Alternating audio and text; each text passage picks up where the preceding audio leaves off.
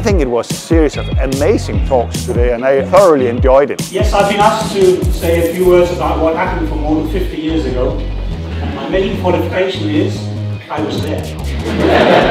my main disqualification is that I can no longer remember much.